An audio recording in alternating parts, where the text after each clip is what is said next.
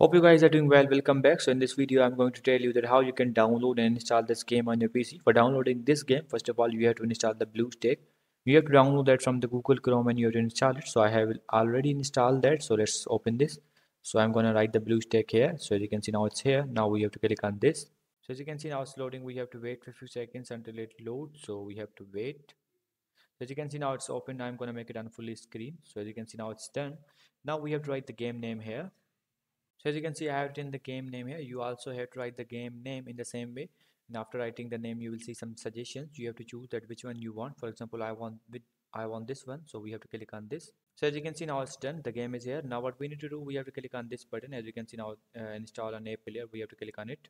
And after clicking on it as you can see it's loading. So we have to wait for a few seconds until it loads. So we have to wait so finally as you can see the game is here. Now what we need to do if you want to see the game details you can also do that. The one like the size of the game is 142 MB and the downloads are 1 million plus and reviews are these.